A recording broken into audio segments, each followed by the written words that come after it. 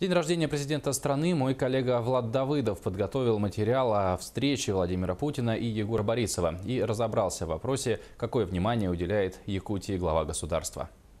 Последняя встреча Путина и Борисова состоялась в июле этого года. Лидеры страны и самого крупного субъекта России обсуждали целый ряд вопросов, в том числе социально-экономическое развитие республики. Как э, дела в республике? Тенденция роста экономики у нас сохраняется в республике. Мы по сравнению с 2015 годом вложили полтора триллиона рублей инвестиций в разные отрасли экономики. И особенно большое внимание было уделено развитию инфраструктуры.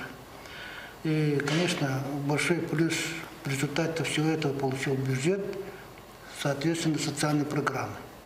Информируя Владимира Путина о положении дел в регионе, Егор Борисов напомнил, что ровно 10 лет назад, в январе 2006 года, глава государства провел в Якутске совещание, итогом которого стала разработка и принятие схемы комплексного развития производительных сил, транспорта и энергетики республики до 2020 года.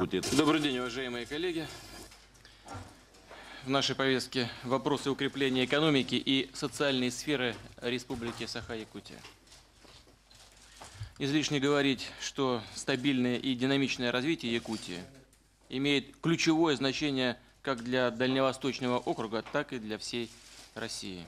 Реализация этого стратегического документа позволила республике достичь высоких результатов в социально-экономическом развитии, в частности, объем ВРП с 2006 по 2015 годы в абсолютном выражении увеличился в три с половиной раза. Также за этот период в Якутию привлечено полтора триллиона рублей инвестиций. По мнению Егора Борисова, ресурсоемкость стоящих перед Якутией задач требует специальных мер государственной поддержки и личной поддержки со стороны президента России. Он дал поручение, дал э, конкретное согласование в том, что позиции Республики Саха-Якутия согласен.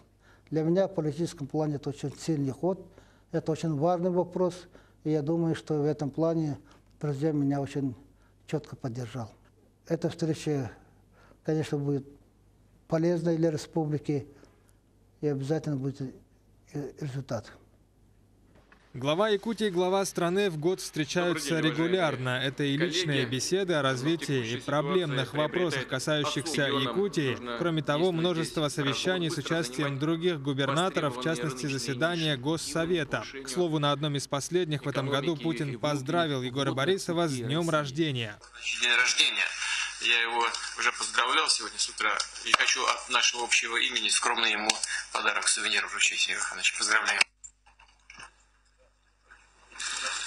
Что касается последнего визита Владимира Путина в Якутию, то он состоялся в 2014 году. Глава страны побывал в СВФУ, встретился с якутскими студентами и молодыми учеными. Далее в ДП-1 Путин провел совещание по вопросам развития Дальнего Востока в целом и на главном событии визита запустил строительство мегапроекта «Сила Сибири». Этот проект даст нам возможность нам, России, не только поставлять газ на экспорт, он даст нам возможность развивать газификацию своей собственной страны, восточных регионов Российской Федерации, Дальнего Востока и Восточной Сибири. За период руководства страной Владимира Путина, а это три срока, можно смело сказать, что Якутия изменилась до неузнаваемости. Это подъем экономики, промышленности, масштабное строительство, победы в спорте, развитие благоустройства. И самое важное, что успешная и эффективная совместная работа руководства республики и главы государства